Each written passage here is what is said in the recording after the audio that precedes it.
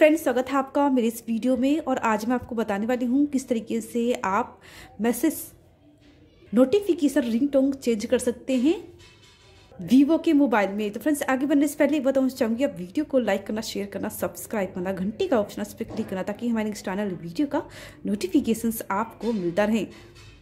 हाँ जी फ्रेंड, इसके लिए आपको सेटिंग पर क्लिक करना है। यहाँ पर आपको साउंड एंड वाइब्रेशन पर क्लिक करना है। इस पर क्लिक कर देंगे आप। और यहाँ पर आपको उसको इस तरीके से यहाँ पर आपको नोटिफिकेशन रिंगटोन का ऑप्शन मिला है इस पर क्लिक कर देंगे आप।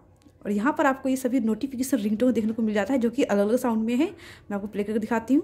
देखिए फ्रेंड्स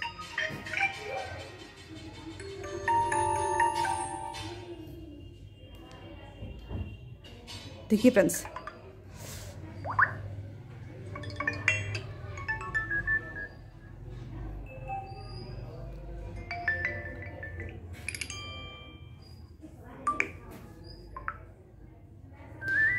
हाँ जी फ्रेंड्स किसी भी क्लिक कर देंगे तो ये राइट का निशान आ चुका है, यानी कि ये सिलेक्ट हो चुका है।